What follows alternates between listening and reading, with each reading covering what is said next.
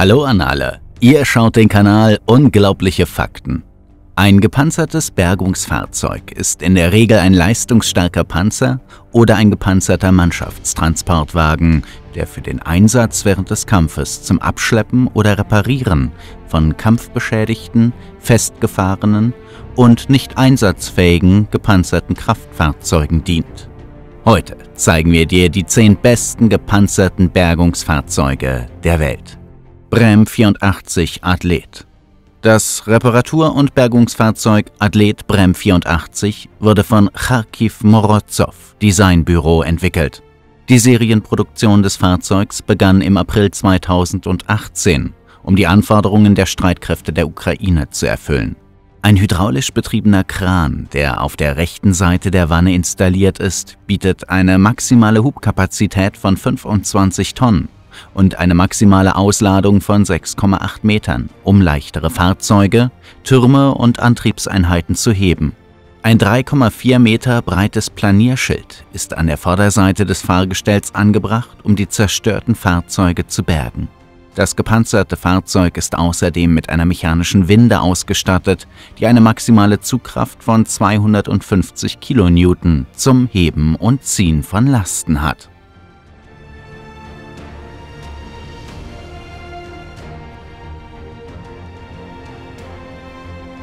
M88A2 Hercules der M88A2 Hercules ist ein selbsttragendes gepanzertes Bergungsfahrzeug, das bei Rettungs- und Bergungseinsätzen auf dem Schlachtfeld eingesetzt wird. Der M88A2 wird nun von BAE Systems hergestellt. Der Hercules kann bis zu 70 Tonnen schwere Kampffahrzeuge wie Leopard M1A1, M1A2, Überbrückungssysteme und andere Fahrzeuge bergen. Das Fahrzeug ist mit einem langen 35-Tonnen-Ausleger und einer 140.000 Pfund Konstantzug-Hauptwinde für überlegende und leichtere Windeigenschaften ausgestattet. Es ist außerdem mit einem 280 Fuß langen Seil und einer 3 Tonnen Hilfswinde ausgestattet.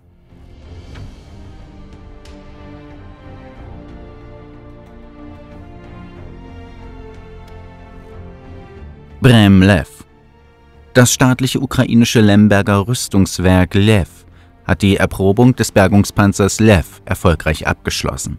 Das Fahrzeug basiert auf dem Kampfpanzer T-72. Der Brem ist für die Evakuierung und das Abschleppen defekter, beschädigter Ketten und Radfahrzeuge im Kampfeinsatz ausgelegt. Der Lev ist mit einer Winde mit einem 200 Meter langen Seil ausgestattet. Darüber hinaus verfügt der Lev über einen Kranausleger mit einer maximalen Tragfähigkeit von 12 Tonnen für die Montage und Demontage von Einheiten und Baugruppen im Feld, insbesondere von Panzertürmen, Motoren oder Getrieben.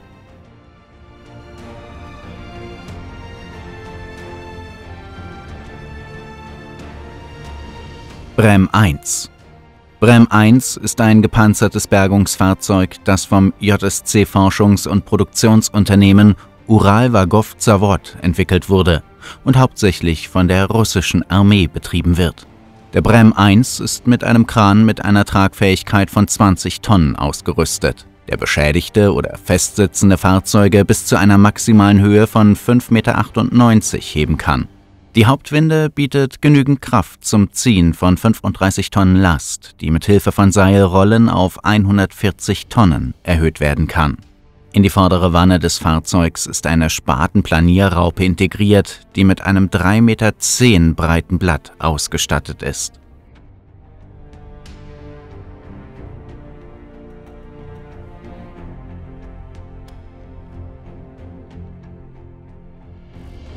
Liebherr GBKF. Die Liebherr GBKF ist eine ungewöhnliche Militärmaschine. Sie wird im Deutschen als Bergungspanzer Kran bezeichnet. Dieses Fahrzeug verfügt über einen Teleskopausleger, der bis zu 20,9 Meter ausfährt. Seine maximale Hubkraft beträgt 22,8 Tonnen auf 7 Metern. Am Heck sind zwei Bergungswinden montiert. Die größere hat 75 Meter Kabel, während die kleinere 49 Meter nutzbares Kabel hat.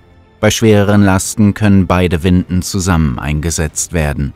Am Heck ist eine Hubwaage mit 16 Tonnen Kapazität zum Schleppen angebracht. Sie wird zum Abschleppen von beschädigten, unbeweglichen oder unkontrollierten Fahrzeugen verwendet. Die GBKF kann Fahrzeuge mit einem Maximalgewicht von ca. 40 Tonnen schleppen.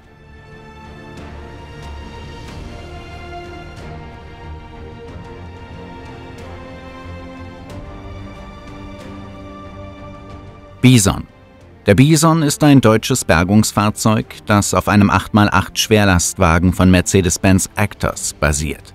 Der Bison ist mit einer speziellen Bergungsausrüstung ausgestattet.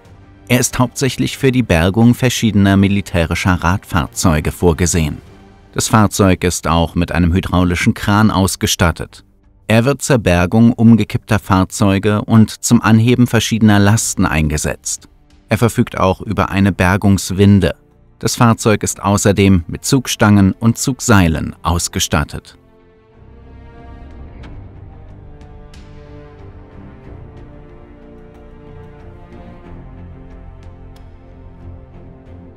Büffel Der Bergungspanzer 3 Büffel ist ein von Rheinmetall entwickelter Bergungspanzer.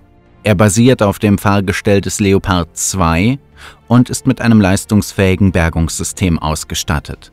Die Hauptaufgabe des Büffel ist die Bergung von beschädigten, umgestürzten und überschwemmten Kampfpanzern und anderen Kettenfahrzeugen. Der Büffel verfügt über einen auf der Drehplattform installierten Großkran, der 30.000 Kilogramm heben kann. Die mechanische Hauptwinde ist an der Vorderseite des Rumpfes installiert. Sie ist mit 180 Meter Seil versehen und hat eine Zugkraft von 35 Tonnen. Mithilfe von Flaschenzügen wird die Zugkraft auf 70 Tonnen erhöht.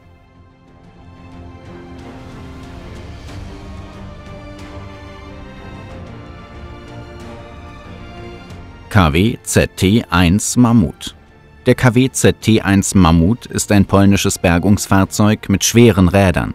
Der Mammut ist auf dem Fahrgestell des tschechischen Militärlastwagens Tatra T815 7 8x8 aufgebaut es ist für die Bergung von militärischen Radfahrzeugen vorgesehen.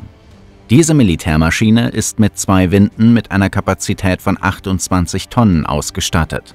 Eine der Winden wird für Arbeiten am Heck zur Bergung steckengebliebener, beschädigter oder umgekippter Fahrzeuge verwendet. Die vordere Winde kann zur Selbstbergung verwendet werden. Der Mammut verfügt über einen hydraulisch ferngesteuerten Kran. Er kann 12.000 Kilogramm auf 3,5 Meter heben bei maximaler Ausladung kann er 5200 Kilogramm heben.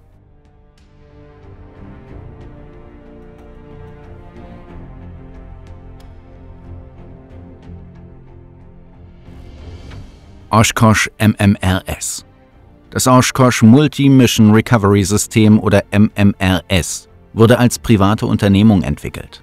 Dieses schwere Bergungsfahrzeug basiert auf dem schweren, hochmobilen Oshkosh LVSR 10x10 Lastwagen. Diese Lastwagen sind beim US Marine Corps im Einsatz. Diese Maschine ist mit einem dreiteiligen Ausleger ausgestattet, der bis zu 12,5 Meter ausfährt.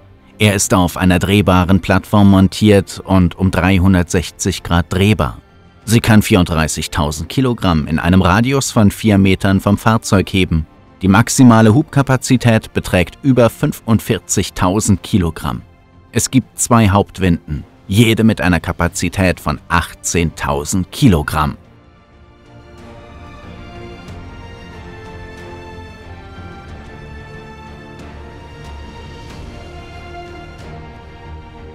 Wheeled Recovery Vehicle die Armee von Singapur stellte ein neues Bergungsfahrzeug mit verbesserten Sicherheits- und Effizienzfunktionen vor. Der als Wheeled Recovery Vehicle bezeichnete Lastwagen hat eine Bergungskapazität von 35 Tonnen, was bedeutet, dass er alle von der Armee Singapurs eingesetzten Radfahrzeuge sichern und bergen kann. Der neue LKW ist mit einem Drehkran ausgestattet, der es seiner Zweimann-Besatzung ermöglicht, Bergungsarbeiten aus verschiedenen Winkeln oder Positionen durchzuführen, wodurch sie bei beengten Platzverhältnissen mehr Möglichkeiten hat. Das WRV ist auch ein doppelwirkendes Fahrzeug, das gleichzeitig heben und winden kann, während sein Vorgänger jeweils nur einen Vorgang gleichzeitig ausführen konnte.